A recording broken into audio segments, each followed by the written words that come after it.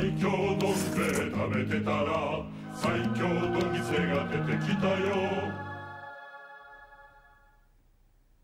このどん兵衛麺がいつもより太いです。最お揚げも布団みたいです。最6種の合わせだしもブランド七味も。最安で今日。